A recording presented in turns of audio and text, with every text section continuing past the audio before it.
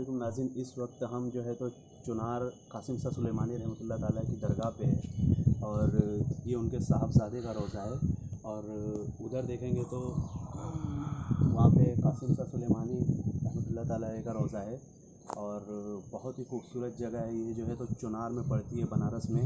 तो हम लोग आ जाए थे तो मैंने सोचा कि एक वीडियो बना दूँ और आपको भी ज़ियारत करा दूँ। मेरी ऑलरेडी पहले से ही वीडियो है इस पर तो अभी आप देख सकते हैं कितना खूबसूरत यहाँ पे मंज़र है।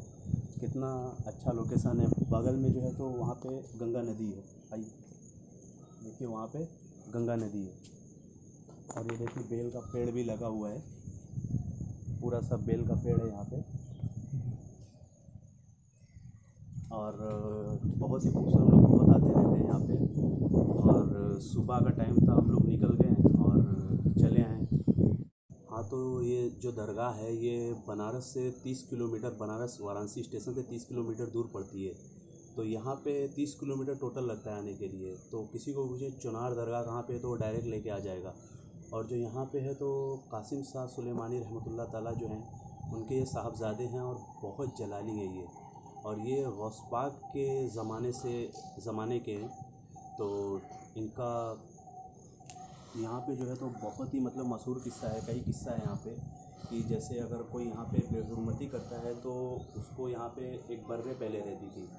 तो वो काट लेती थी और बहुत ही समझ लो, यहाँ पे आते हैं लोग, अच्छे से रहते हैं और कहीं भी अल्लाह के वली के दरबार में जाएँगे तो अदब और एहतराम करना बहुत ज़रूरी है, क्योंकि ये अल्लाह के वलियों का दरबार है। और ज़रा सी भी यहाँ पे अगर आपने अदब और एहतराम में कुछ कोताही की तो आपको इसकी सज़ा भी मिल सकती है। तो हम लोग आते हैं बहुत ही एहतराम से और बहुत ही अच्छे से जो भी करना है, ज़्यारत वगैरह हम लोग करते हैं और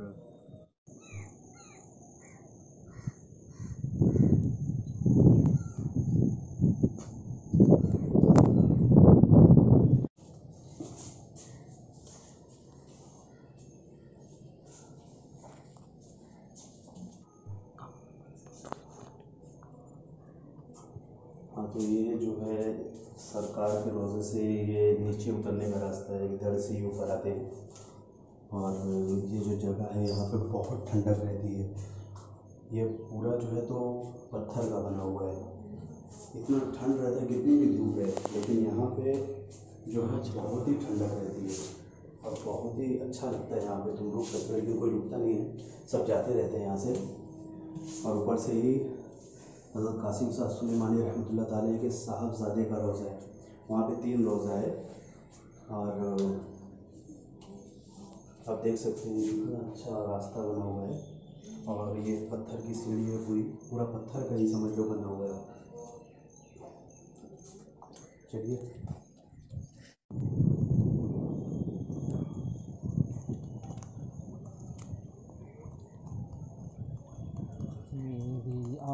ये वाला बन अच्छा लगेगा।